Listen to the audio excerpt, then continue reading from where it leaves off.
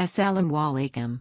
It's me Halak Mariam Furkan and today I'm presenting a short video on disorder of RBC which is thalassemia. Thalassemia is an inherited blood disorder in which the body makes an abnormal form of hemoglobin.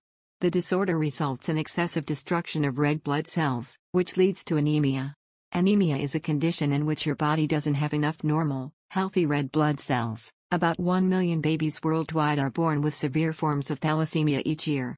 Thalassemia occurs most frequently in people of Italian, Greek, Middle Eastern, Southern Asian and African ancestry. This disorder can be classified into two types alpha, thalassemia and beta, thalassemia. The severity depends on how many of the four genes for alpha globin or two genes for beta globin are missing. It is estimated that 1.5% of the global population carries gene causes of thalassemia. Genes control how the body makes hemoglobin protein chains. When these genes are missing or altered thalassemia occur. Thalassemia are inherited disorders they are passed on from parents to their children through genes.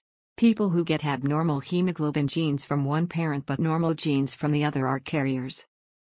Symptoms of thalassemia It may include loss of appetite, dark urine, pale skin, weakness, bone problems, fatigue, enlarged spleen, Diagnosis of thalassemia.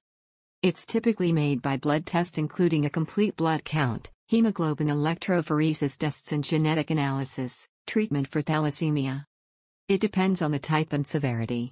The treatment for severe form of disease often includes regular blood transfusion, iron chelation therapy, a process by which excess iron from the body and supplementation of folic acid and bone marrow transplantation may be used to cure the condition especially in young people.